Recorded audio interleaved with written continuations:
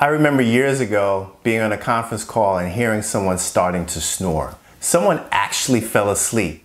Fortunately for that person, we cannot tell who it was, but how embarrassing is that? How could that happen? Many times it simply boils down to how engaged are you on the call. So in this video, I'll talk about why you should turn on your video and in what situations it is critical to do so. My name is John Seaton, the Collaboration Specialist. My mission is to provide you with simple tips so that you can have the best experience when communicating with customers and colleagues when working from home. Some people may not want to turn on video because they may be ultra relaxed at home and just not camera ready, like this person.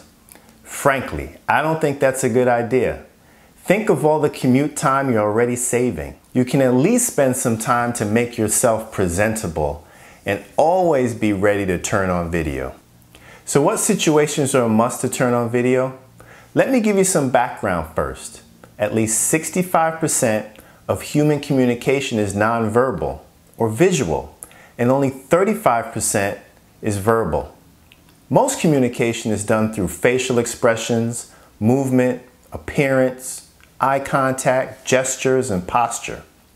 So that means it is more difficult to sense what a person is really thinking or their feelings if you can't see them. Think of it this way. Can you hear worried, happy? Is it always easy to tell if someone is irritated or annoyed or being arrogant? It may not be that easy to tell if they're being defensive. Because most of the time when people are feeling these things, they may not be saying anything at all. So how would you be able to tell?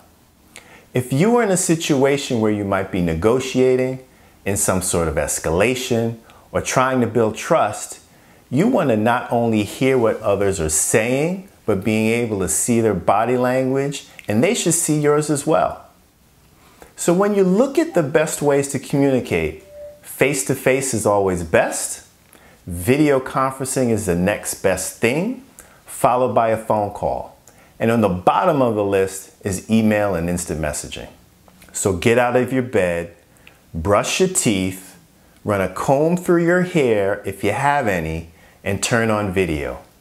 And get engaged in the conversation.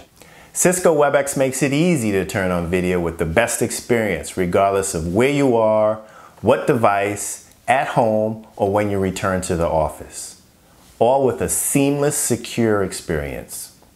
Hopefully these tips will make your day just a little bit easier. Thanks for watching.